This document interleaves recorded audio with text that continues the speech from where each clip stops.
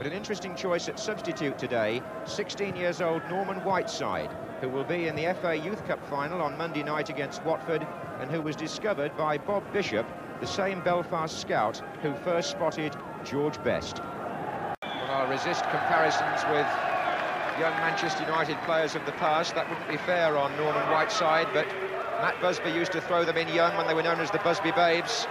And here he is, not 17 until the 7th of May. Irish lad coming on for his first taste of league football. He's replaced number 11, Mike Duxbury.